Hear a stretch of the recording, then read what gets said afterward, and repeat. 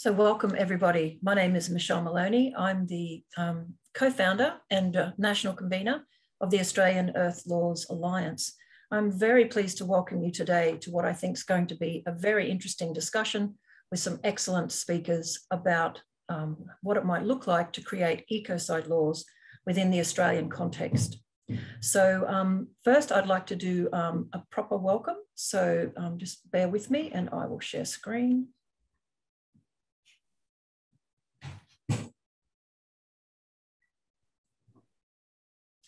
So um, before I talk and introduce, talk about and introduce our speakers, I'd like to acknowledge country. Um, my name is Michelle, as I said, and I live, work and play here in the beautiful lands of the Yagara Turrbal peoples um, in North Brisbane. Um, I'd like to acknowledge elders past, present and emerging, and the remarkable um, culture and civilizational governance system that the first peoples of this continent used since time immemorial and continue to use to care for country and to care for each other. Today's discussion is going to be really interesting and I've been looking forward to it a great deal myself. Um, in a moment, I'll um, introduce you to our speakers, but the main topic that we're exploring is um, the rise and rise of uh, popular understandings of ecocide law at the international level um, has meant that many people have been considering what that looks like at the national level um, at the domestic law level here in Australia. So our topic today is looking at ecocide laws in the Australian context. The order of speakers um, is hopefully will unravel a story about what's going on in the world of ecocide. Um, and just to read down through um, what we think we're covering. Um, so I'll give a very brief introduction to the broader picture of earth-centered law and governance and how we see ecocide as really fitting into this emerging family of laws. And then Dr. Gwynn MacCarrick will talk about how, how we might, how might ecocide laws be created in Australia. Uh, Gwynn has a dearth of expertise in this space, which she can share with you in her own talk, um, but she's now currently completing a book uh, on ecocide. So um, we're very lucky to have her talking about this. And I'm hoping that Gwynn will also give some very practical um, insights for you all about if we were to do an ecocide law in Australia, where would that go? Is it Commonwealth? Is it state? What does it look like? Uh, as well as some of the bigger issues in the international scene. Then Professor Rob White will talk um, about a whole range of issues that are both, I guess, a cause for concern when we're trying to think about the law of ecocide. Um, so I've just titled it Principles and Elements to Include in an Ecocide Law and to Consider more generally. And then we're very delighted to also have Professor Danielle Celermajer and Professor Anthony Burke talking about um, really some of the deeper challenges of what ecocide or omnicide is all about and what do we have to consider as human earthlings when we're really trying to protect um, the broader living world? And what do the current um, developments in the international definition of ecocide and beyond what do any of them mean really for the practical implementation of caring for non-human animals um, across the planet. So it's a very rich discussion. The goal will be that um, we'll each have about 10 minutes to run through some core issues and then we'll open up for discussions at the end. So as I said, please do pop your written questions into the chat and we'll try to get through to them as we can. So I'll take my um, facilitator hat off now and, and give my eight minute overview, uh, or hopefully a bit less to give others more time. I'd personally like to thank all of the speakers for joining us in this AELA hosted event. And I'd like to introduce you, if you're not familiar with the Australian Earth Laws Alliance, to our not-for-profit organisation, AELA. AELA was created in 2012 um, by a group of uh, very concerned and earth-centred uh, lawyers. And what we're very interested in is advocating for systems change to create earth-centred governance in industrialized societies. And of course, our focus and passion is for Australia. Um, I'll talk in a moment about the theory of earth jurisprudence, which is a term coined by deep ecologist and geologian Thomas Berry, but it's his initial spark around earth jurisprudence that got myself and others thinking, what would it look like for Australian law and Australian governance systems to be, to be transformed into something that actually deeply cared for life? So the work we do is very much looking at what structural change um, in these underpinning institutions, laws, culture would look like in Australia if we were genuinely earth centered. So our focus is on law, economics, education, ethics, culture, and the arts. And um, some might call it cross cultural work, but it's deep, deeply informed by Indigenous knowledge systems, which I'll talk about. So this little tree um, is just a way of saying that, that the, the roots of AELA's interests is about love of the living world, um, human beings included, um, the joy that comes from um, biodiverse landscapes, um, company from our evolutionary companions, um, and I guess the moral obligation to care for and do a better job than what we've been doing in industrialized societies and being custodians or stewards or simply admirers of the living world. So AELA's inspiration is twofold, Earth jurisprudence and Western deep ecology, particularly in the early days, the initial work um, that Thomas Berry did around Earth jurisprudence and rights of nature, but also deeply informed by both the work, the writings, and our relationships with uh, remarkable Indigenous elders such as Mary Graham and Anne Poelina. So AELA's work um, is very much focused on how we challenge colonial structures in Australia, um, how we learn from Indigenous elders and cultures, but how we take responsibility. Um, there's something like 95, 96% of the Australian population is not Indigenous. How do we create bridges into um, earth-centered culture in our own cultural and legal systems? So earth jurisprudence talks about um, a whole range of structural ways to rethink the governance systems that have been created in modern societies. Um, and really this image shows the core element of what it's trying to change from and what it's trying to change to. So earth jurisprudence um, asks us to examine the root causes of the current ecological crisis and shift from this notion on the left of humans at the top of things and all other animals either being classified by um, flawed modes, such as their sentience or ability to feel pain. Um, and a lot of those ideas, which have emanated out through um, certain monotheistic religions and other worldviews. And how do we shift towards something that Indigenous cultures have never lost um, and something that is perhaps more reflective of our modern scientific understandings of life on Earth, which is the image on the right. The idea that we are um, just a group of molecules uh, lucky enough to have sentience and opposable thumbs, and we really have no more right to be here than a mushroom or a snail, and we certainly have no right uh, to take away the lives of animals, particularly making them extinct. So this is the world's most clunky diagram, and I'm proud of it. Um, it's my little umbrella, just to remind folks who perhaps are not entirely familiar with the work AELA does or Earth jurisprudence, um, what we have been seeing, particularly in the 21st century, is building on the back of um, more traditional notions of human centered environmental law. We've seen this rise and rise of earth centered law inside Western systems.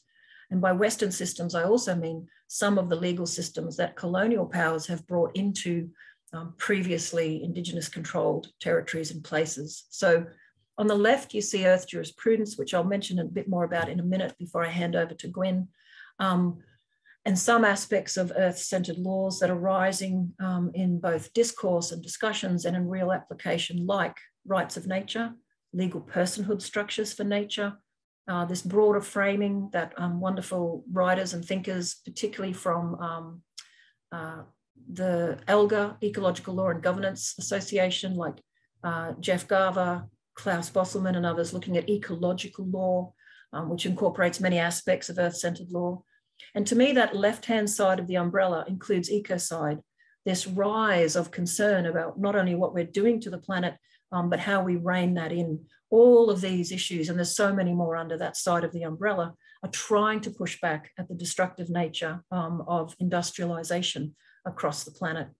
On the other side, we've got the older, deeper legal systems of Indigenous peoples. And I'm using a few framing words there that are used by Mary Graham and Anne Poelina and others.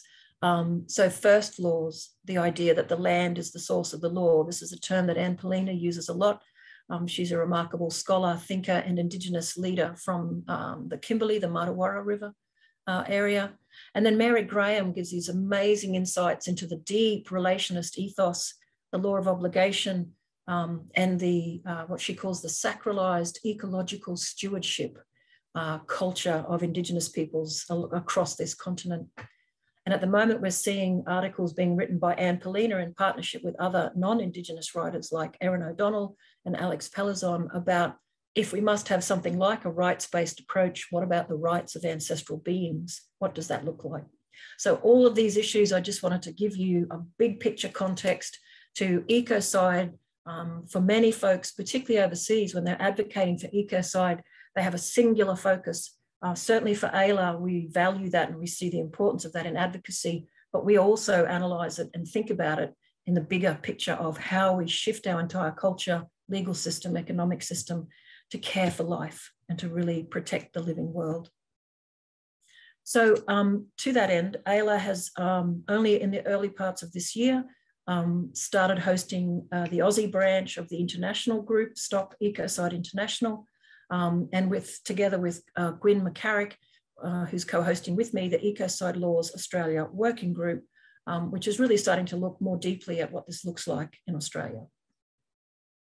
Um, I'm not going to speak too much to this. For anyone who's not familiar with Earth jurisprudence, I guess I just wanted to give a plug for a really key book that helped me use a kind of cohesive framework to bring a whole bunch of concepts together. Thomas Berry looks at these underpinning fundamental establishments that control human affairs, that he calls them, um, analysed their anthropocentrism, um, and really certainly uh, sparked interest in those of us who created AELA into how do we unpick the anthropocentric nature, the destructive elements of our economy, our legal system, etc., and how do we rearrange things and transform them. So that's uh, an important book for us. The, the mere fact that our industrialized societies have failed profoundly to recognize that it's in relationship with the living world um, and to use it up to the extent that we are now not just terraformers, uh, but climate changes. Um, these are obviously the, the dastardly issues of our day.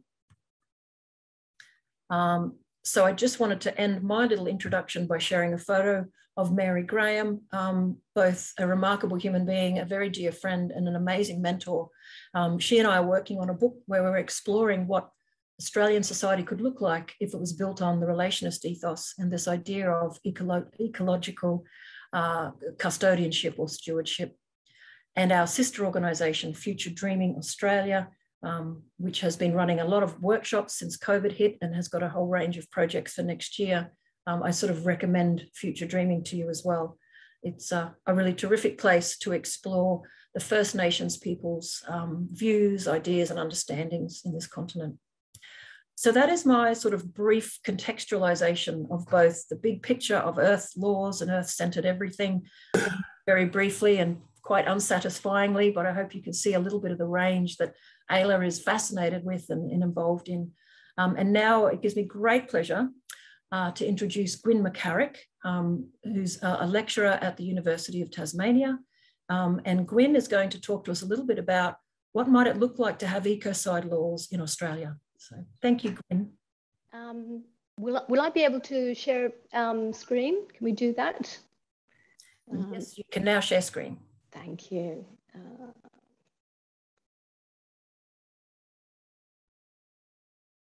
lovely. Um,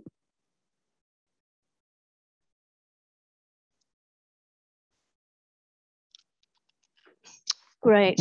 So um, thank you, and thank you, Michelle, for um, uh, having me. Um, what I propose today to, is to talk a little bit about the, um, the work of the AELA um, working group, looking at implementing uh, ecocide law in Australia. Uh, but I just wanted to make a few preliminary uh, comments as well. So I wanted to talk about the idea that both environmental law and criminal law are very much grounded in domestic law.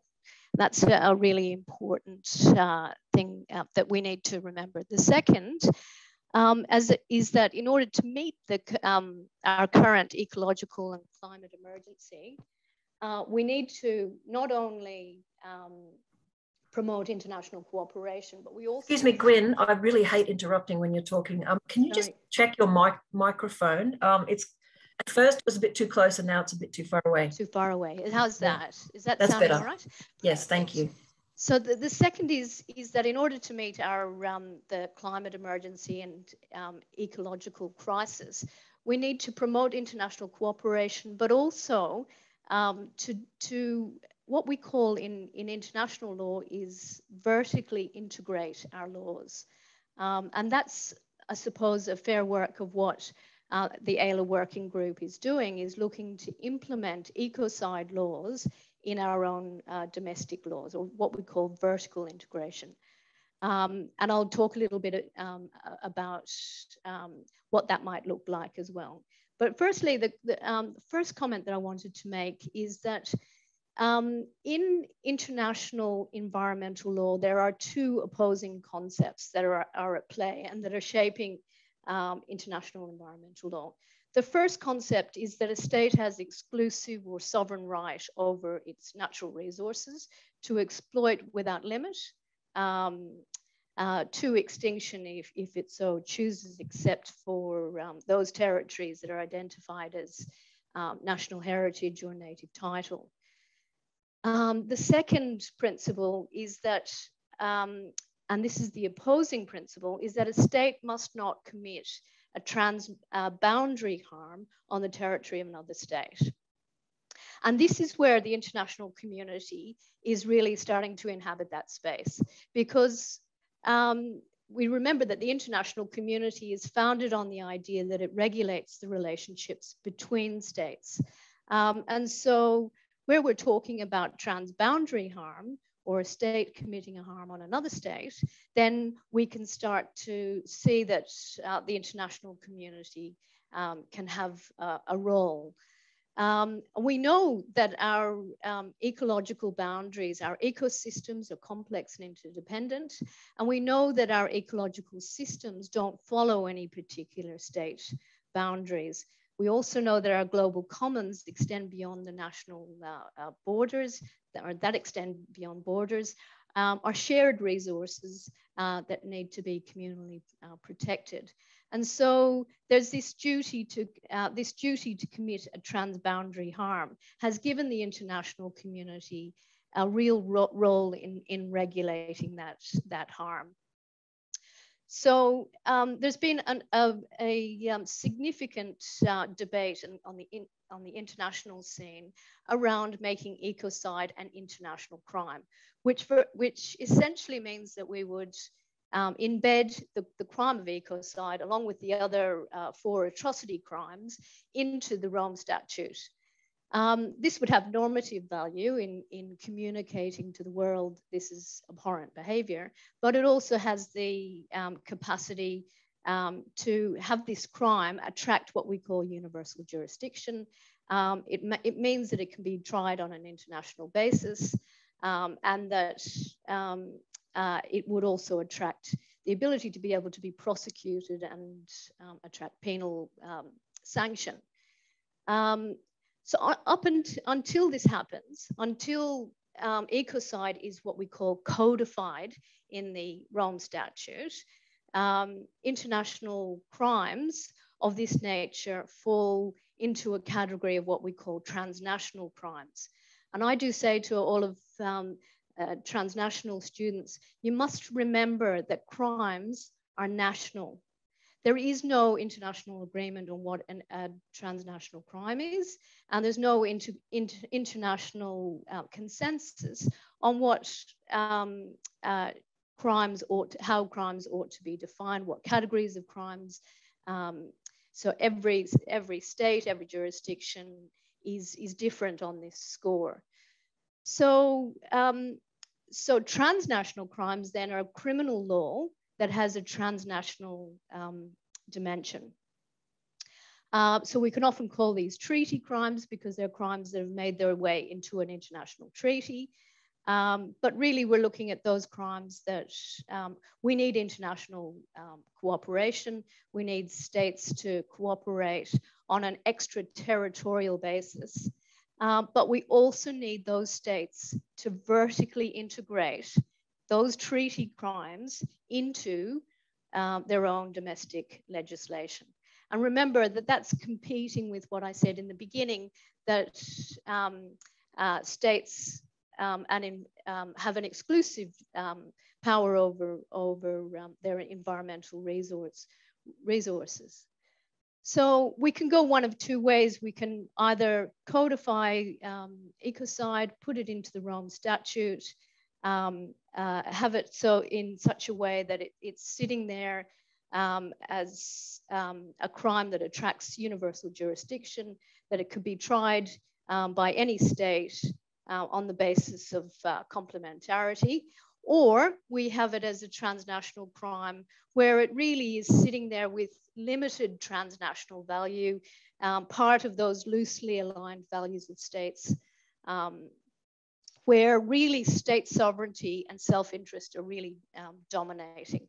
Um, so, and that's really the, um, the way it exists at the moment in a legally pluralistic uh, world where there really is no um, true consensus on, on either the content of the crimes or, or no real uh, willingness to, um, to cooperate on that basis.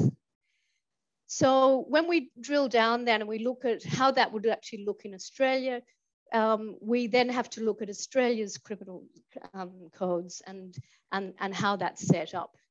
So criminal law in Australia is the responsibility um, is shared between the states and territories and the federal government. So, and that's really a product of our Australian constitution, which really only gives limited rights to the federal government uh, on issues of crime.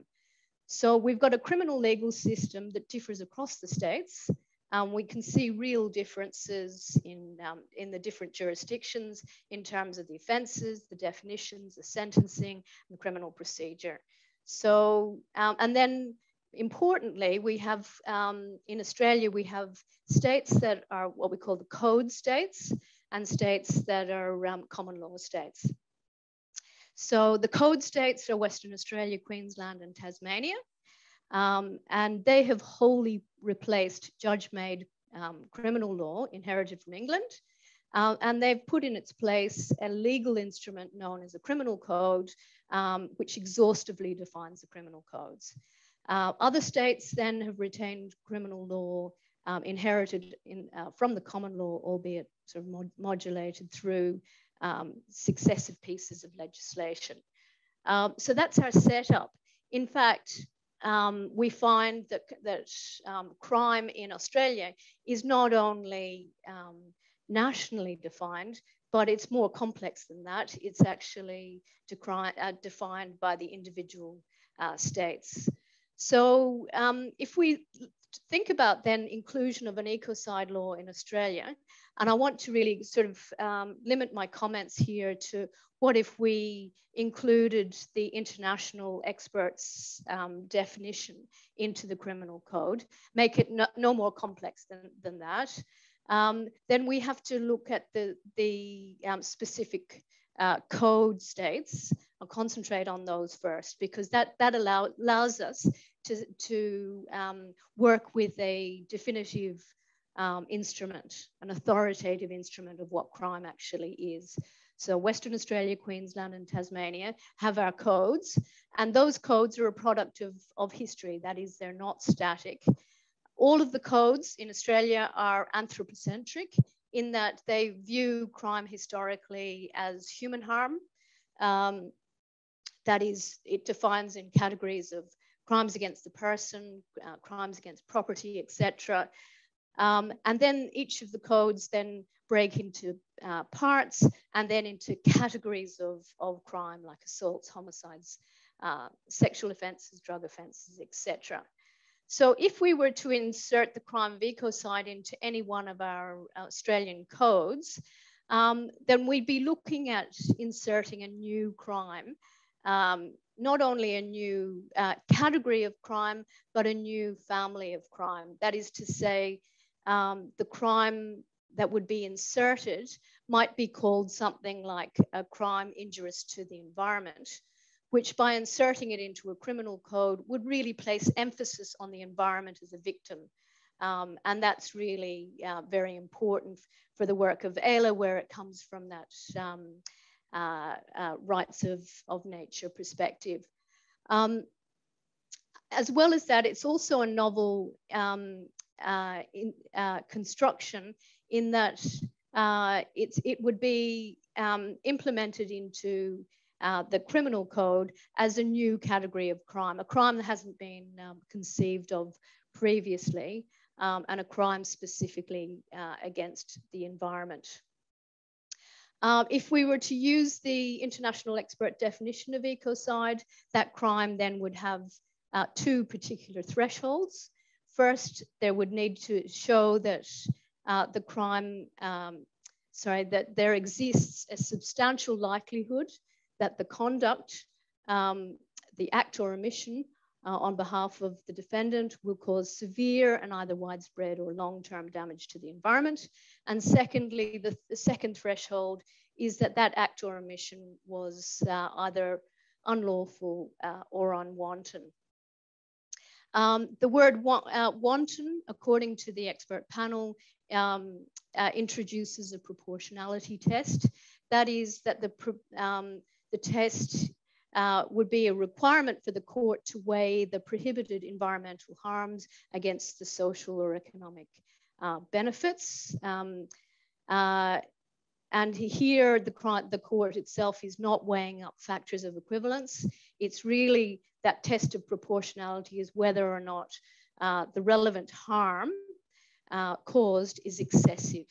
Um, and I would, I would suggest, in, in my interpretation of, of uh, that definition, if the crime itself meets the threshold of uh, severe harm, then I think any, any consideration of social or economic benefit would uh, be invalidated. Again, the word wanton as a, as a qualifier in the definition uh, would mean that um, uh, there are certain crimes that all, might be lawful, but are nevertheless um, uh, uh a crime because they transgress that uh, criminal threshold of, of recklessness. And um, uh, there's been a lot of talk on the international scene around the mental element for um, ecocide. Um, now, Gwynn, I, I, really hate interrupting, sorry. but I just wanted to let you know you've got about one Time. minute left. Yeah. One minute, perfect. Yeah, uh, uh, so, um, so in terms of uh, mental element, uh, the uh, in, in, in most criminal codes, uh, they look there. There is a requirement that the crime itself be an intentional act. Um, we all know that in um, uh, the environmental harm context that uh, generally speaking, corporations don't go out with an intent to cause harm. They go out with an intent to, to uh, make a profit. Um, and so the model law recognizes this um, and tries to incorporate uh, the idea of recklessness, requiring that there's a substantial likelihood that the, um, the individual knew that they were that their acts would cause uh, severe harm. And that becomes the default um, standard. Fi uh, one final comment before final comments, and that is um, on the issue of exclusion. I think any um, sort of law reform in this area is going to need to allay the fears of um, uh, uh, different legitimate industries in Australia. Uh, so there would need to be an exclusion clause that um, sets out what um, uh, types of activities are considered legitimate and legal and therefore um, excluded from um, um, uh, prosecution of, of, of this kind. Um, uh, with reference to the appropriate land use um, or relevant uh, planning schemes uh, or reference to the Environmental Protection and Biodiversity Conservation Act if, uh, if the proposed activity uh, is likely to cause significant impact. Um, so final comments then is that criminal laws in Australia are complicated. They're complicated by the fact that um, they're not determined by um, a national um, authority. They're determined by the individual states. Criminal codes are um, themselves not static. They're always using these twin determinants of harm and morality to really justify the addition or the removal of, of uh, crimes. Uh, so ecocide uh, law reform then will really need to um, generate some support from political representatives that will hopefully carry forward this, uh, these reform bills uh, through their respective uh, states. Um, and you know, states who follow this particular path uh, will have the uh, honor of being progressive states, being early adopters of, of ecocide law, um, with the, the distinct advantage of vertically integrating um, ecocide law, this important uh, law reform uh, from a bottom up, while we will also work from the top down uh, approach by uh, uh, codifying it in the Rome Statute. So we can work from a state basis and also work from uh, an international basis at the same time. Sorry, sorry, I might have gone over time, Michelle, but that's that's it from me. I'll just uh, stop sharing. Thank you so much, Gwynn. Um, that was an excellent introduction to some of the big picture issues and also down to the nitty gritty of what it would look like in the Australian context. Thank you so much. Thank you. A number of questions that have come through. We're going to save them up for the end if that's okay, everyone. Um, and so now I'm really uh, grateful to Gwynn for setting the scene for what's possible, what the constructs in Australia might be. And now um, hand over to Professor Rob White from University of Tasmania to share some of his thoughts on the legal and other issues connected to uh, ecocide law. Thanks, Rob. Uh, thanks for having me. Um, I'd like to start by acknowledging the, the Palawa people of Lutruwita, um, the First Nations people of Tasmania. Um, and that welcome or that acknowledgement actually gets to the heart of what some of this is on about. And that is that this is aspirational and political. So in a sense, we're not talking about really introducing ecocide as, as a law that's going to make a difference without a political struggle. Because basically, there's it's power and interest and conflict, which is why the world's in the condition it's in today. So this is really part of a political struggle. Um, the attempt at climate litigation or law reform of therapeutic jurisprudence and wild law and so on, these are part of a political push to change how we do things and how we think about things. Uh, but let's always be clear that this is a political process. Um, it's not a straightforward technical process of, of law reform as such. Uh, what I wanted to do is briefly mention three things, and I ask three questions. What is the goal? What is it that we're trying to achieve? What is the mechanism whereby we achieve that goal. And the third thing is what are the operational aspects of these mechanisms that we're trying to put into place. Now, I'm not going to describe all of these in depth because a lot of it's already been covered and will be covered in the discussions. But I'll start by saying that when we think of the goal, we can, we can abstractly get some lessons by reading the, the literature, for example, on ecocentrism, uh, and contrast what an ecocentric perspective that is looking at the intrinsic value of nature, contrast what that looks like compared to an anthropocentric or human-centered view. Uh, we could talk about non-human environmental entities such as rivers, mountains, non-human animals, plants, and so on. Uh, at the end of the day, when we talk about ecocentrism, of course, we also need indicators of what is ecocentrism in practice. So it's not just a philosophical orientation, it's also saying, okay, how do we demonstrate an ecocentric approach? Ecocentrism is part of the principles. Another part is the rights of nature. And again, I'm not going to go into this. There's a fair bit of discussion around that with specific examples from Ecuador, Bolivia, New Zealand, India, and so on, in terms of mountains and rivers and, and certain non-human creatures that have been given uh, legal personhood. Uh, but for me, that's one of our starting points is the idea of rights of nature and also ecocentrism. But also we can look at what's already existing in law. So for example, in New South Wales, um, there, the description of ecological sustainability uh, is embedded in a whole range of different legislation and includes things like the precautionary principle, intergenerational equity, conservation of biological diversity and ecological in integrity, uh, polluter pays principles, and so on. So this is stuff that is already embedded in some laws. And I think that when we talk about what is the goal, uh, for me, the goal is a, is a combination of those three things, ecological sustainability, ecocentrism, and the rights of nature. Then the question is, what kind of laws will get us there? And I think there is where, in my mind, uh, ecocide is only one of, of a series of laws that need to be put, put together in order to, to bring alive those principles. Um, so for example, in Victoria, with the new EPA Act, they have a general environmental duty of care, uh, mainly in relation to pollution offenses. And I think that's a really good starting point because in fact, there are criminal offenses associated with that general environmental duty of care.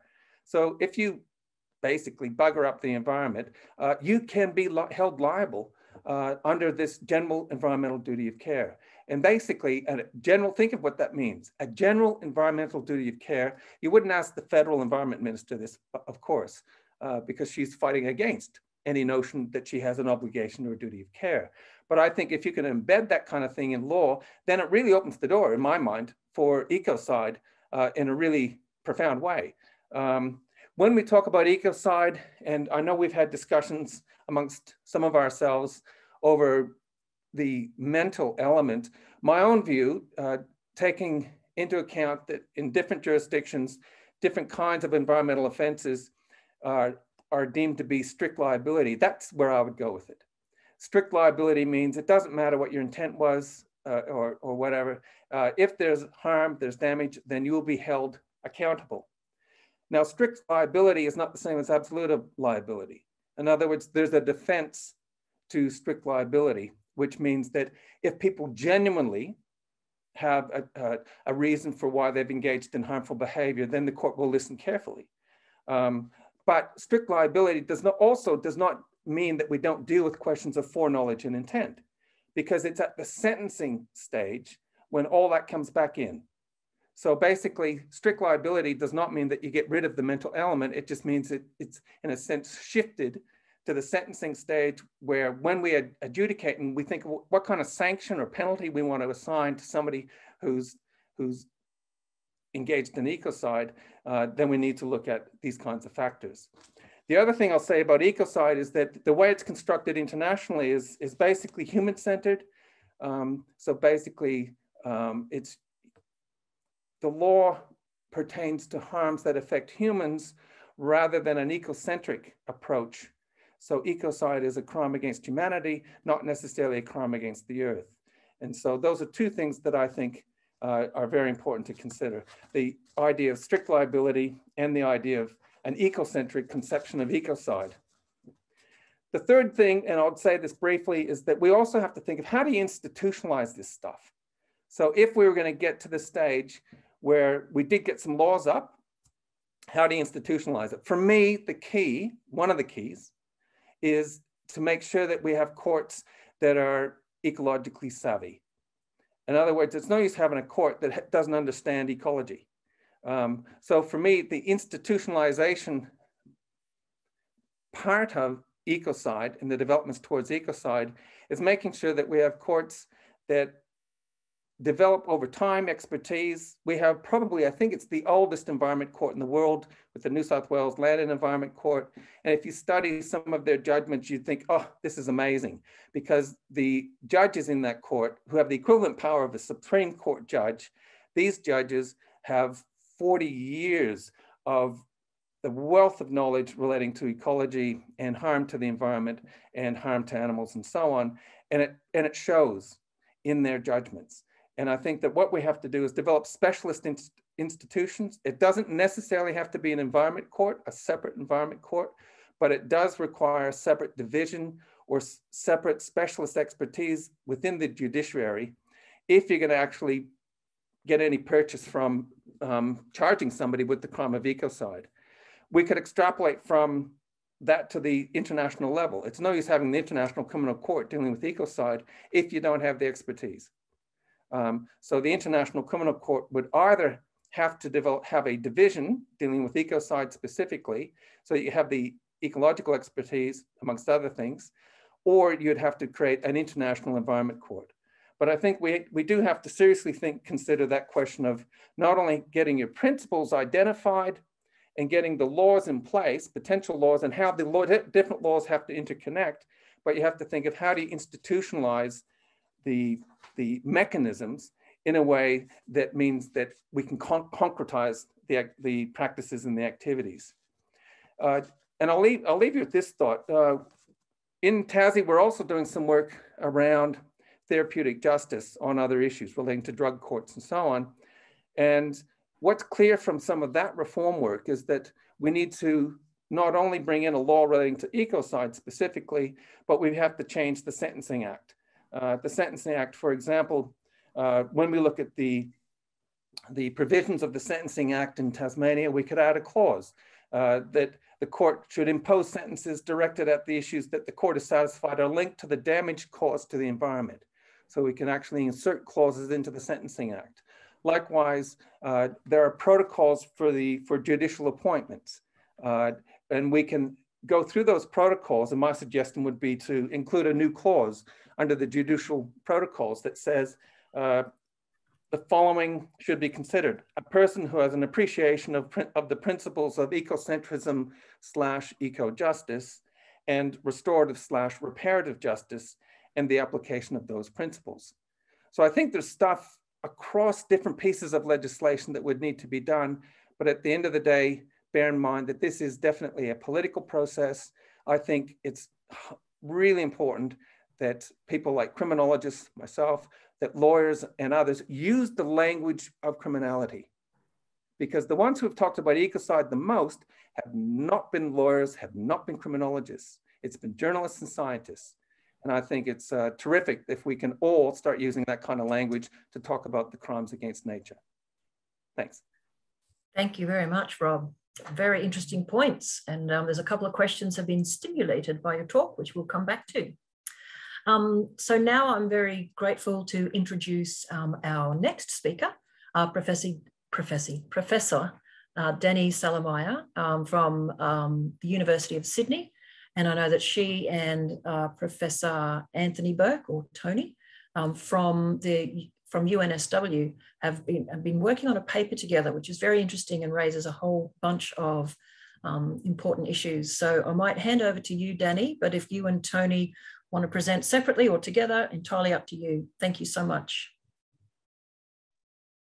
Thank you. Thanks, Michelle. Um, and everybody for being here. I also want to begin by acknowledging that I am supported here, standing here on the lands of the Dharawal people uh, to acknowledge elders past, present, and emerging, and to thank them for the care of the kinship relationships that make it possible for us to live in this entangled world. Um, so Rob and Gwynn have given really terrific legal and somewhat uh, political perspectives. Uh, I am going to start with a bit more of an embodied perspective and move to a bit of a critical philosophical perspective. Um, so the theme of this session is ecocide in Australia. So I just want to um, bring us to a bit of the embodied ecocide uh, in Australia, or what I came to call omnicide. And um, I wanted to talk a bit about how that word came to me. So on the 5th of January, for those of you who are in the southeast of Australia, you will remember with your bodies, and those of you who are elsewhere in Australia will remember through images. The 4th of January 2020 was one of the two worst catastrophic fire days in the Black Summer fires.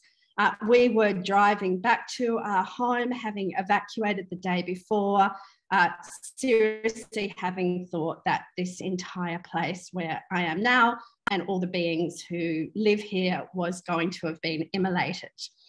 As we were driving back, um, I was listening to the radio, the information that was starting to come in about the number of beings who had been killed, um, the extent of the ecosystems that had been destroyed. At that stage, we didn't know the full extent of the damage. We now know that three and a quarter billion, an unimaginable number of animals were killed in those fires, and 18 and a half million hectares of, of land were burnt. And as I was listening to the reports, there were two words that were used repeatedly about what was going on natural disaster and tragedy.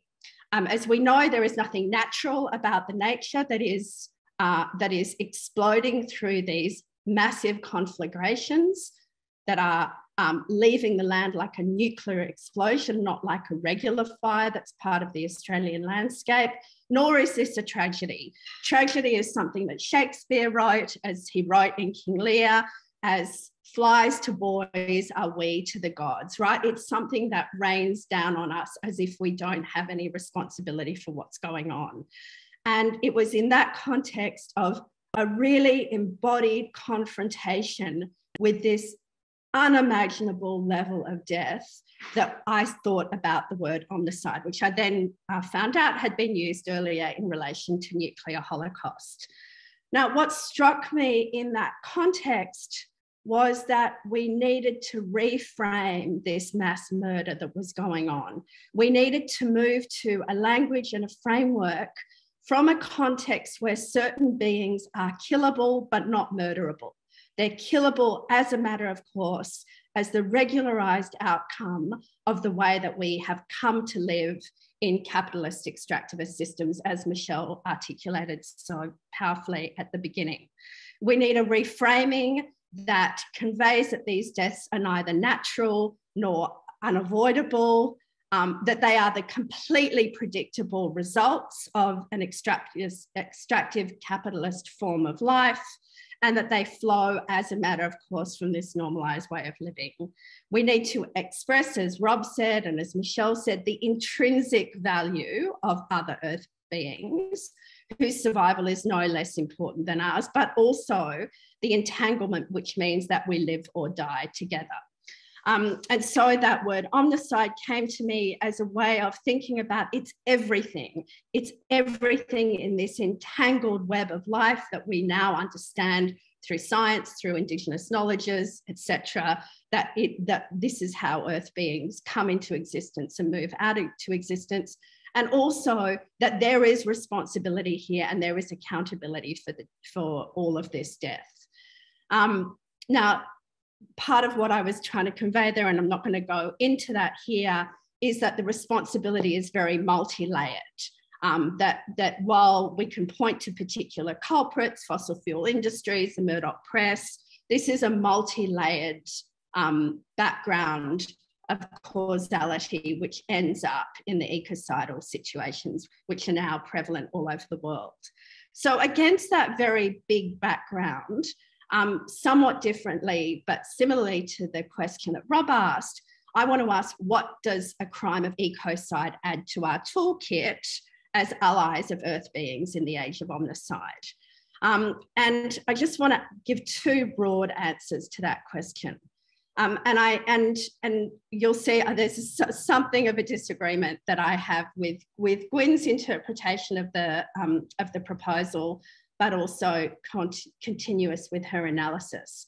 So a law that criminalizes ecocide um, could, so the question here is what can law do, right? What could a law of ecocide do? What is the work that it does in the world potentially? So the first is that it could potentially hold accountable those who are most directly responsible for ecocide, for the killing of ecosystems and nature by punishing them.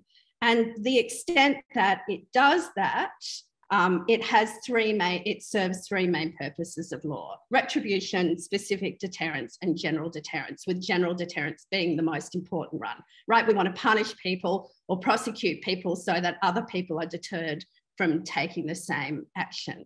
But we know, as you know, criminologists have told us, criminologists like Rob have told us that law only functions functions as an effective general deterrent if it is consistently implemented and where those who ought to be subject to the law enjoy neither legal immunities nor the immunities that flow from power. So then the question is, will the International Criminal Court do that? Looking at the record of the International Criminal Court, its failure in, it pub, in prosecuting even the most well-established crimes like, um, like genocide. So we might question the prospects of criminalisation affecting this type of general deterrence. Now, even more worrying for me is that by criminalising only acts that are unlawful or wanton, that's the definition that's been suggested, this provides a permissive space for precisely those acts that constitute the greatest part of ecocide legalized extraction, legalized deforestation, legalized mass pollution, toxification of rivers and oceans, and so on. These are not exceptional acts. These are not wanton acts. These are business as usual in this country, as we've seen by the government's position at COP26. So the second way that criminalisation works, which Gwynn mentioned very briefly, is what we call the expressive or the performative function of law. So law expresses a normative commitment and thereby works by establishing certain forms of behavior as belong beyond the pale, right? We don't accept this sort of thing now. Think about something like rape in marriage, right? That rape in marriage laws are not necessarily there to prosecute rape in marriage, but to establish a particular set of normative um, commitments that we hold as foundational for the way that we behave in this society. Not completely effective, of course. Um, so linking that back to Rob's comments and my earlier comments, what we need to change is the norms around who is killable and who is murderable um, and the culpability um, for causing that type of mass killing. But if criminal sanctions against ecocide are able to work along this expressive dimension, we want them to express the right norm, right? We want them to express a fully ecocentric norm, not an anthropocentric norm. So in this case, a weak law, one that sanctions a utilitarian calculus, and this is where I have a slight disagreement with, with Gwynn, where the wrongness of a mass killing of nature is assessed through a utilitarian calculus that compares it to the economic benefits to human, humans, this expresses precisely the problematic relationship between humans and the, more than humans that we're out to condemn. So a way forward, in my view, um, you know, now this definition is circulating globally. It has a lot of global impetus behind us. So it may not be worth or it may not be wise to put our efforts towards criticizing it. It's very unlikely that it's going to get the backing of the state parties to the ICC. In any case, um, so, you know, my view on the way forward is that we need to campaign on that multi-dimensional front that Rob was alluding to in the court of public opinion, in science, in criminology, in law, in political science, in civil society, and so on, so that we have a strong definition of ecocide, one that unashamedly embraces a view of nature as having absolute, intrinsic, non instrumental value. And at the same time, if we're going to be pushing for domestic laws, these same principles that I talked about of whether law is actually going to be an effective general deterrent and whether it's going to provide an expressivist function around this normative change. I think those are the principles that we need to be thinking about, both at the domestic, both at the international and at the, and at the domestic level. So I'll pass over to Tony. Danny. All right. Um, well, thank you, Danny, and thank you very much, Michelle, for this really welcome invitation. It's a great group to be a part of and in dialogue with, and we really value it. Um, so I'm speaking from the unceded lands of the Ngunnawal people of the Canberra region, and I pay respect to, to their elders, past and present. Um, what I'll do briefly is to touch on a couple of our concerns about the the draft article and the definition that has been forwarded by the Stop Ecocide campaign and their independent legal panel. Um, but I want to quickly move on to the bigger picture of what they actually do really well and get right, and look and argue for the principle that would underpin what what it get gets right and why it could be a value in thinking about codifying ecocide at the domestic level.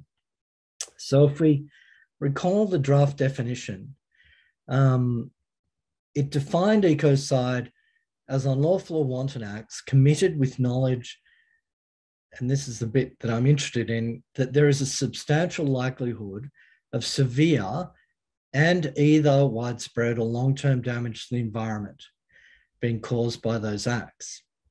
Now, we know that the independent panel had said, look, we think those thresholds, severe and either widespread or long term damage, may taken alone be overly inclusive. Um, therefore, we're going to require a second threshold that the proof is that the acts are unlawful and wanton. Now, Danny and I have written a piece in the conversation which puts out puts down many of our concerns about this.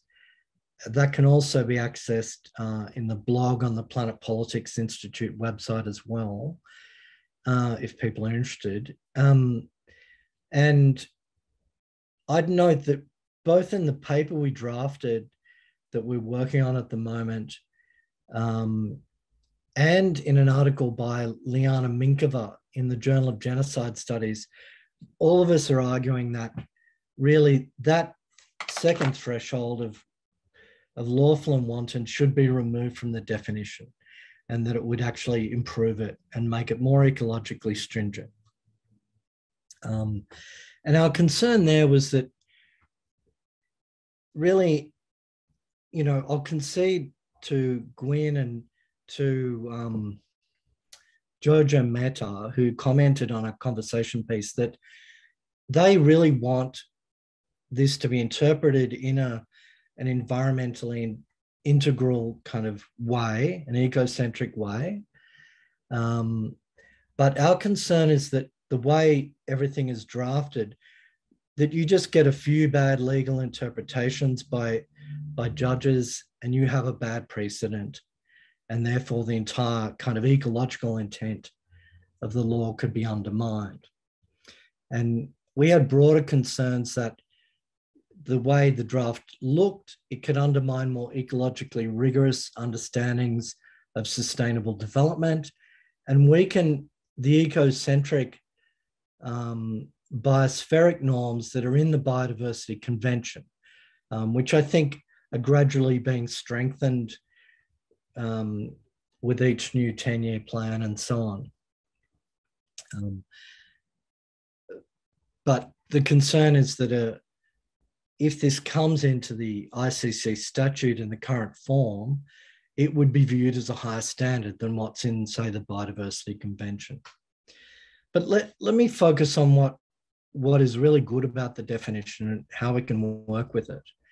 So our argument in our paper, and I think what is happening in this part of the definition, is that we should view ecocide um, against a standard we call ecological stringency. And that com- would combine a scientific assessment of ecosystem integrity and change with an overriding ethical commitment to ecosystem flourishing. So that is, there would be fidelity to what is actually occurring in ecosystems, how they're linked, interlinked with each other, and the atmosphere and flows of water and movements of animals, um, an appreciation of the value of the myriad lives that coexist within them, and a fundamental commitment to their integrity, survival, and flourishing. So, what's going to be happening there is that there's an interplay between ecological science and ecological ethics. And I think Rob's point about needing courts and judges who, what was the term, um, ecologically savvy. I think this is what we're trying to get at here. So when you look at the definition, you can see that the core elements of the crime rest on establishing what you could call ecological facts. So to be severe, there must be very serious adverse changes disruption or harm to any element of the environment. And the environment is defined as the earth, its biosphere, cryosphere, lithosphere, hydrosphere, and atmosphere and, out, and outer space. Um, so this is moving well beyond the Stockholm Declaration's view of a human environment. This is the biosphere and the Earth system as we understand it. And then that would include grave impacts on human life, on natural, cultural, economic resources, bringing in a kind of weak anthropocentrism that we think is entirely appropriate and valuable. Then, to be widespread, it has to extend beyond a limited geographical area, cross state boundaries, or be suffered by an entire ecosystem or species or a large number of human beings. Again, you can see scientific work, in a sense, giving us trust, trustable judgments. And then finally, to be long term, it would have to be irreversible or which cannot be redressed through natural recovery within a reasonable period of time. Um, and again, I think science helps us think through what that is. Um, so we have ecological stringency provided by a definition that is ecological reference points and can be objectively verified through scientific understanding of ecosystem complexity, relationality, scale, and change. Um, and that should be the core criteria in thinking about ecocide. And other interests need to be supplemental and never permitted to override them. So let me just finish with a comment um, about this morning's news that came on the ABC about the investigation into VicForests' illegal logging in the Thomson water catchment of the Victorian Highlands. And what that really was honing in on was the fact that this was unlawful because logging is prevented in areas designated as, as having a human interest, that is, on steep slopes in water catchments for the Melbourne area. So the violation there was a technical one. It was unrelated to the intrinsic value of the forest. And I think that's a, a really problematic function of our environmental legal architecture in this country. And a crime of ecocide would challenge it. It would challenge that kind of paradigm that divides up living in connected ecosystems according to competing ontologies. One would treasure the biodiversity and the entanglement of beings and matter, and the other would face that, that entirely and see them as merely resources. You know, the material components of a, a product and profit chain um, that's just laying in wait for us. In an article, Blue Screen Biosphere, I call this a zombie biome, a life that was simultaneously alive or dead, live and dead, and alive only for the purposes of becoming food or utile matter or profit in a ledger and torn from its rich purposes and connections. I think the crime of ecocide enables us to think about those connections in a much more productive way.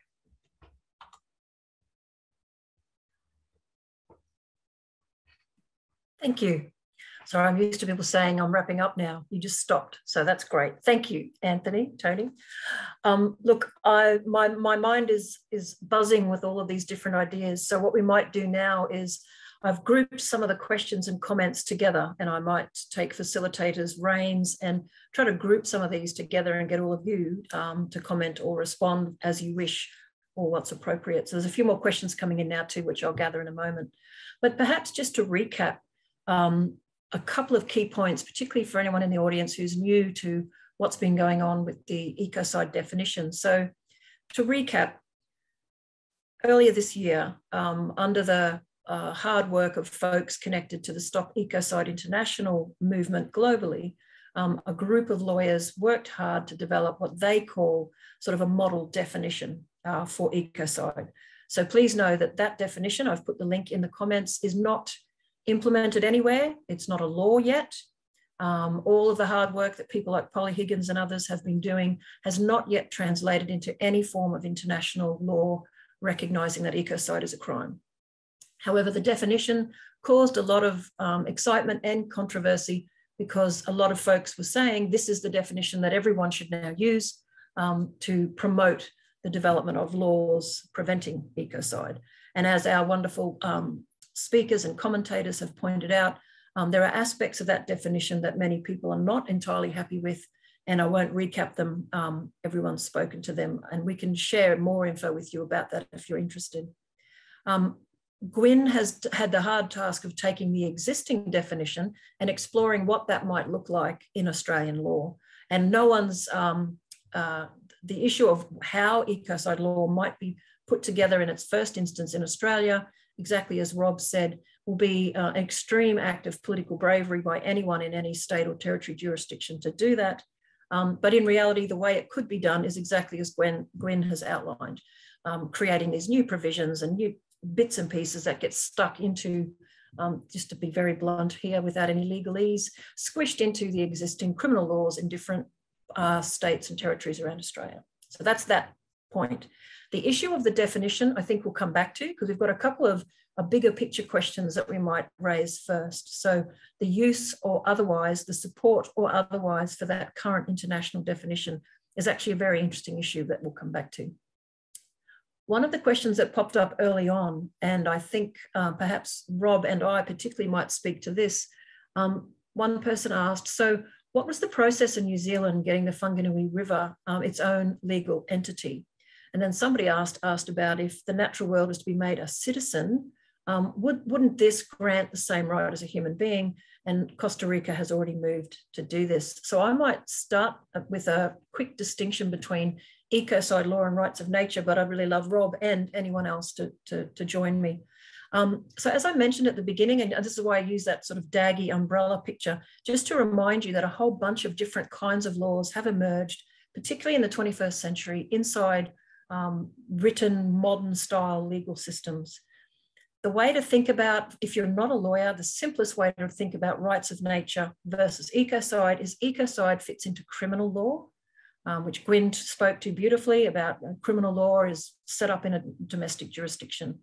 Um, rights of nature is something different. You could think about it as civil law, but that doesn't always help people who aren't lawyers.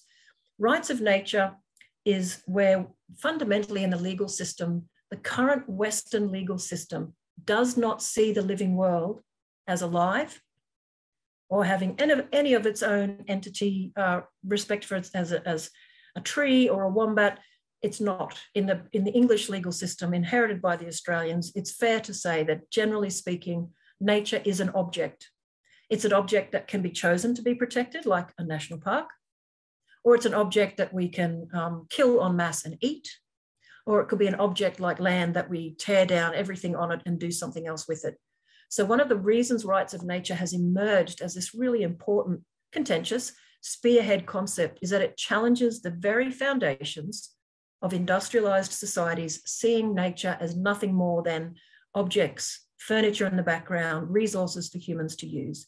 As Sabine says, they're so different from the Aboriginal worldview. Absolutely. So rights of nature started to emerge in the early 2000s in the USA at the local level, where local communities were saying, we're sick of corporations coming in and trying to take our water or pollute our water. We're going to assert that we, the community, have the right to defend nature, and we're going to assert that nature has its own rights. They also asserted that corporations would be stripped of their rights in that place. Technically speaking, they didn't actually have the legal power to do it, but it's created a movement. Then you had Ecuador and a few other places that said, we respect and see the rights of nature to exist, thrive, and evolve across an entire jurisdiction. And that means that they try to respect the rights of nature and to rebalance human notions of property. What we then saw in the New Zealand situation was something completely different. So it's not pure rights of nature law slapped across a jurisdiction. It was actually created under negotiations between the Maori people and the government under the treaty, under the Treaty Waitangi. And there's a long story, but they chose a legal personhood construct, which is actually what corporations have. It's the same rights that legal corporations have. The right to sue and be sued, to own property, etc. It's not really expressing itself as a right for nature. It's um, giving person-oriented legal personhood rights to a chunk of nature. Nonetheless, we've seen all these other styles emerge, and I won't go any further, but it's really important to me as an Ailurite that folks, wherever possible, understand that rights of nature is something separate to criminal law. It's trying to assert that these things have rights, either so um, people can go to court and speak with it for it, or that you have other mechanisms to protect nature. Um, so that's why ecocide is different from rights of nature. But if you wanted to develop a really lovely suite or menu of different earth-centered ways of pushing back at Western law, um, something like rights of nature, but done within the cultural context of place is important, and ecocide and many other things could be done. So that's a very long answer, isn't it? But Rob, did you want to add anything to that? Um, just to say that ecocide doesn't require one to have an ecocentric worldview. Um, ecocide is about protecting the environment, but it could be protecting the environment for human purposes. And indeed, a lot of the um, European Manual on, on Human Rights, for example, and environmental rights is, is precisely about a human-centered notion of the environment. Um, yeah, there's nothing intrinsic to ecocide uh, about the rights of nature. Uh, on the other hand, the rights of nature is not necessarily only and solely uh, about the intrinsic value of nature, because the Ecuador Constitution also talks about the instrumental use of nature. Um, and so, and this is could take us into a very long discussion. We don't want let's, to get. Let's not go there. there. There is a there is, if we as humans live in nature, then we must also instrumentally use nature uh, whilst still being able to value the intrinsic value of nature itself. Uh, and that's anyway. I'll, I'll, and and, and people like an assertion and comment rather than than a question. But I think yeah. that it is important to make that distinction between um, ecocide and rights of nature, and also bear in mind that concepts like ecological sustainability or or sustainable development likewise have both an anthropocentric interpretation and an ecocentric interpretation. So whilst we talk about the precautionary principle and intergenerational equity and so on, that doesn't necessarily mean that it's an ecocentric concept of, of, of nature. Thanks, Rob. Yeah, there's so much to unpack in this and perhaps just give a plug. Uh, this year, AELA's been hosting webinars on rights of nature and discussing the relationship of ecocide and rights of nature next year we'll have a whole nother series of webinars on different issues. So do stay in touch with us if you're interested in learning more. Um, got a couple of questions. I, I jumped to, uh, Linda has asked a question, which I think is really important. Um, she's got, how do all of these ideas translate into action? How could the courts be changed to consider ecocide? Or are law students given any training in this area so they can gain traction? Um, I might open that up for everyone. I can certainly say as the person who introduced the first Earth jurisprudence course into a university, um, very few students are taught about ecocide or rights of nature in their degrees. And if they are, it's touched on as one guest speaker. Often it's me. Um, we need to get these concepts out there exactly as you've suggested, Linda, how do they get traction? But what do other folks think? Um, Danny, yeah, and Tony, please. Tony? Just quickly, um, I mean, one thing that the definition does in a very interesting way is improve on the way in which um, these kind of tests are already in the international law of armed conflict. Um, so when I was telling my own students at the Defence Force Academy about this stuff, they knew about that body of law, and that that was a bridge for them. It made sense in that sense. Um, I think it would be relatively simple to, to bring a crime of ecocide at the state level, but it does challenge the way we think about development approvals. And, and there's a much greater level of stringency around what level of ecosystem change or destruction you can produce in building a road or a housing development or anything else.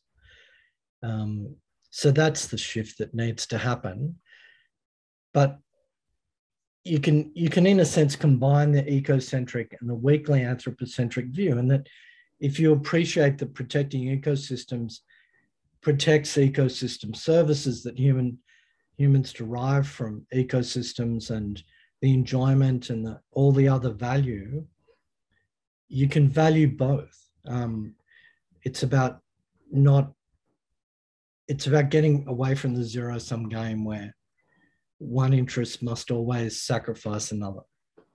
and we often I, see this, yeah, I was going to say, uh, yes, Gwynn, but we, we often see this in the right to the environment, a human right to a healthy environment and nature's rights. And people are always putting them against each other, but they're all connected. Sorry, yeah. Gwynn. Can, can, I, I just, um, just a reflection. Um, in 1997, uh, I was um, a legal officer for um, at the International Criminal Tribunal for the former Yugoslavia. And there was the chief prosecutor, um, a, a, lady by the name of Louise Arbour. She was smaller than me in high heels, but very revered by the by all of the the other lawyers in the tribunal. And she came out of her room one day and she said, "I've got the law. I've got the indictments. Where are the defendants? And she actually, there's a, they did a kind of a Hollywood movie about her, uh, where she donned on the flak jacket, went to Bosnia, and got the indictments and got them across the border. Um, and so, so my, my suggestion would to to you would be, don't underestimate the power of of um, law reform. Once you have the law, um, then the values, everything else um, changes as, as a result of that. And the other, other um, sort of caveat I would put on, on that is don't um, try to water down ecocide because its success will be in um, the choosing of the particular things that you prosecute. It has to be worst cases. When you're talking about ecocide, ecocide is the severe destruction of the environment. Genocide is the targeting of a whole group of, of people. Omnicide is the destruction of everything, do you know? So the threshold itself must be, um, must be very high you know? So they're, they're the two things. I, I think um, once you have the law um, the rest uh, maybe that's me as a lawyer talking and myself and, and rob um, um, do do a lot of, of teaching to uh, to our students of, of ecocide. Um, so we're trying we're getting the message through to this next generation. So it will come um, they will grow up with it being um, less of a um, more of a natural concept, um, flow on of, of things, I think. But thanks, Gwynn. Yeah, no, thank you. And Danny, did you want to comment on that? Yes, please. You're on mute. Yeah. Very quickly. Uh, just very quickly. I mean, I think what what Gwynn is raising is the relationship between social change and legal change. I mean, I take a different view. I think that the law is very conservative and the, the law lags behind social change. Um, so I would be saying, you know, absolutely let the lawyers uh, and the criminologists be working on law reform, but this has to be a massive social movement. Um, and that is something that everyone can be involved in. Everyone could be having conversations about ecocide around their dinner tables, at their workplaces, um, whether you know whether you're a teacher, whether you're a health worker. This is about altering the moral landscape such that beings other than humans come to be seen as murderable as opposed to killing as a matter of routine. Very, very quickly, I just wanted to say something on this question of intrinsic value versus instrumental value. Um, and this goes back to your opening remarks, Michelle. The problem with both framings is both framings assume that individuals exist as, as the ultimate separate bits of being. So something either has value in itself or it has value insofar it's used by someone else. Once we have an entangled ontology, once we understand that we're in a web where we all gain life from our relationships with each other, then neither of those framings on its own really makes sense. The political value of talking about intrinsic value is that against a background of instrumentalization where other beings are cast as nothing but resource for human use, intrinsic value puts, puts, a, puts a stake in the ground to cut that debate. But then the next move in a kind of dialectic is to move beyond either of those poles. Mm, thank you. Points. And for those who might have trouble with what does instrumental versus intrinsic mean, it means that intrinsic means that the living world just has its own goodness and wonderfulness um, and a right to exist without any reference to human beings. Instrumental is when humans argue that the living world should exist because it's very beneficial to us. Um, and someone like me says it's kind of actually all of the above, you idiots. Um, the living world is amazing and we are part of it. We are just nature. But yeah, as Danny said, sometimes I find personally the audience is the is the key to the conversation. If I'm with a group of people who get this concept or that concept, we build on it. If they are literally sitting there with their arms crossed, what about the economy? then intrinsic versus instrumental doesn't mean anything. You've actually got to talk them into a new place of, of developing. Hey, we've got a really good question here. I'd love to throw that to you. Can I just go back yeah, to that question of, of law reform just for a second? Sure. I actually do believe that law reform is, is really important um, as part of a, a, a, suite of political interventions. Uh, all the climate litigation occurring worldwide is tremendously powerful, uh, especially given that a large part of it's driven by young people, uh, high school kids and university students.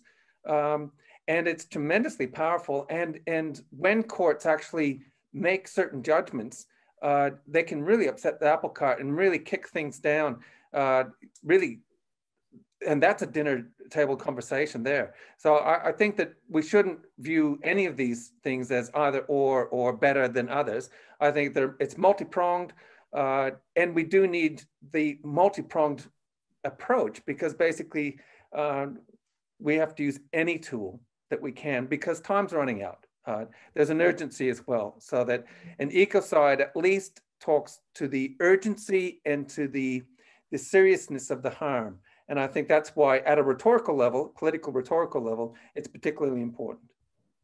Couldn't agree more. I often talk about the Michelle Maloney splatter approach to social change, which is try everything, see what sticks, and different people are going to get traction on something else.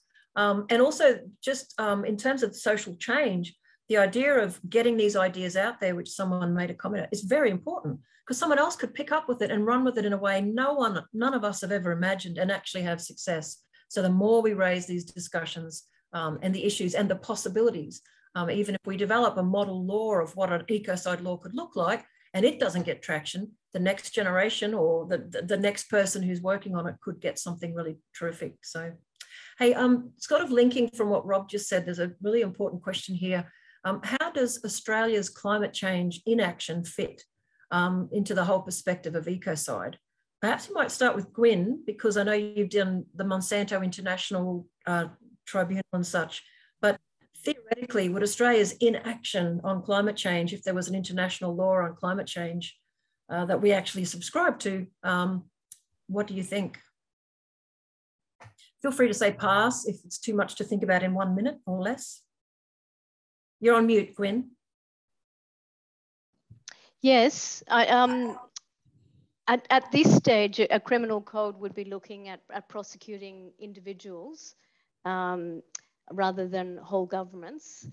Um, and uh, but but certainly, uh, let's say uh, the carb what we call the carbon majors, um, or those uh, corporations that um, are uh, um, you know, and major emit, um, emitters of carbon certainly fall within the, um, the, the, the, current definition of, of um, uh, ecocide.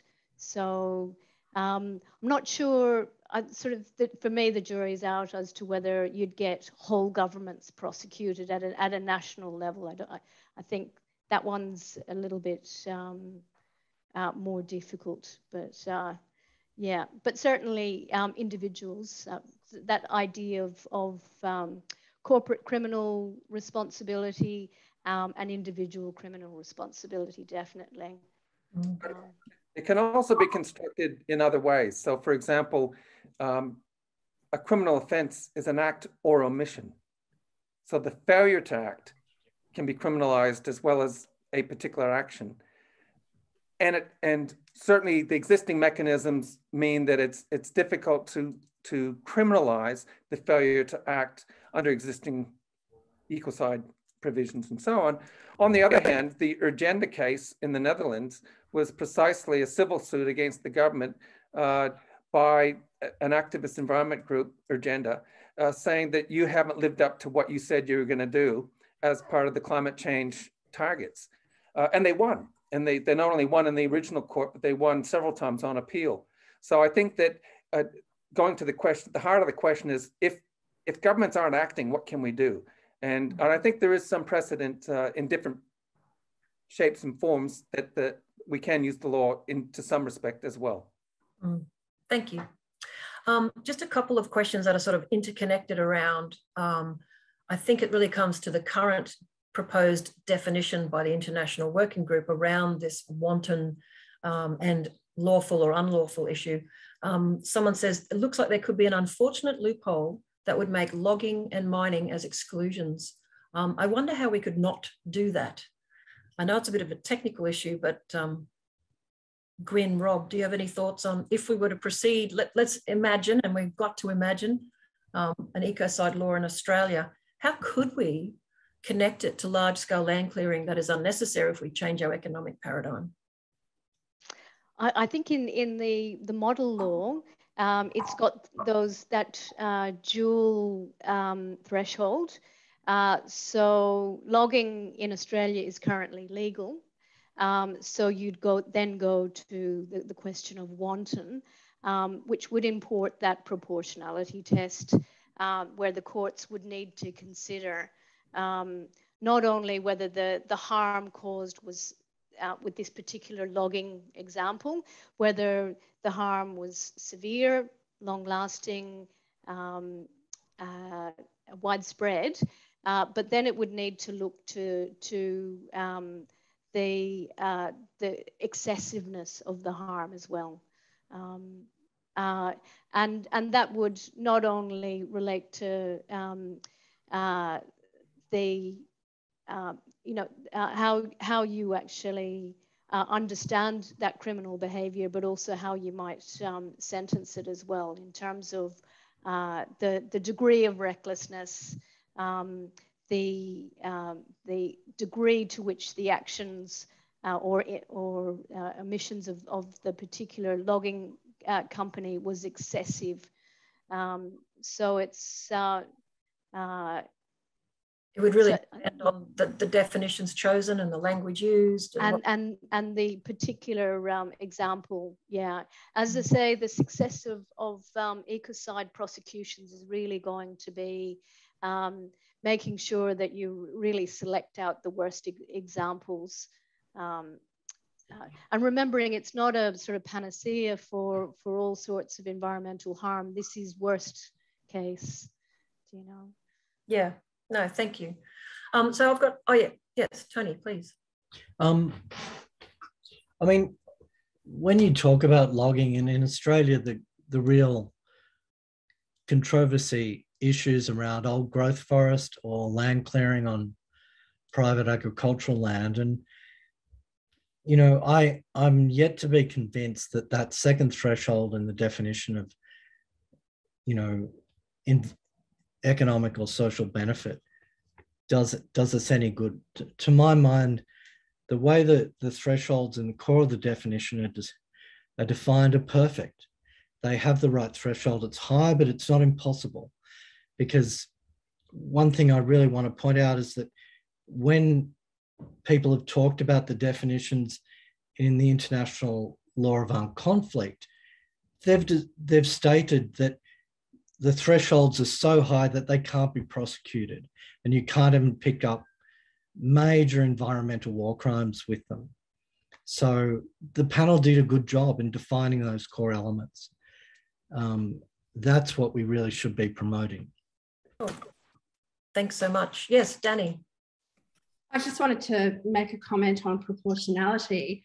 Uh, the issue is not just proportionality, but the value of the different actors who are affected. And if we look at animal welfare law, we have a, just a glaring example that when the economic interests of human beings are at stake compared to the life interests of other beings, it's still legal in this country to keep pigs in um, in cages where they can barely move for them to have their children until they're killed. It's still legal to keep animals, to keep hens in batteries where they can't move and their legs disintegrate because the value of those lives is so radically diminished compared to the economic value. So when we're talking about proportionality, we also have to think about what are the what are the prior assumptions that we have about the values of the lives of the different players who are involved no such rich conversations and i'm sorry everyone we're actually out of time so What I'd like to do first is thank all of our speakers. Um, and if folks know how to press the magic button to show a clapping hand, or you want to do a daggy air clap, or God forbid you do that. I think that just looks like someone's house is on fire. Um, but I really want to thank our speakers. It's been a really brilliant conversation, and I'm looking forward to many more to come. Um, I think we all appreciate how urgent our problems are, how slow the law can be, but how important it is to set up examples of a different way of being. Um, so a huge thanks to everyone for all your intellectual energy, your commitment and passion. Um, and I just want to give a quick plug to a small but important thing that AELA has been working on, turning the whole system upside down where we don't rely on piecemeal approaches. The Green Prince approach, which um, if you've ever heard of me talking about it, please look it up, greenprince.org.au. We're building a, quite an amazing collection and um, network and movement of people saying we can look at the earth-centered worldview and change our economic system so we all thrive, take away the binary, take away the either or. There's lots of other ways to live and do and be inspired by Indigenous thinking, knowledge, wisdom. Um, and it's certainly, we work on a whole number of fronts, but actually thinking about the system up as a different way nurturing the place first and fitting ourselves into that place is what we think is the ultimate, the ultimate dream. Um, but on that note, I'm going to stop talking and just say a huge thank you to everyone who's been with us all this time. Um, the recording will be up on the website by next week if you want to watch any of it again. Thank you so much, everyone. And please, speakers, if you'd like to say goodbye, I shall let you speak. Thank you, everyone. Thanks. Thank you. Thank you. And thanks, thanks Michelle, for organizing. Thanks, Rob, Tony, and Gwen. Bye. Thank you. Thanks, everyone. Take care out there.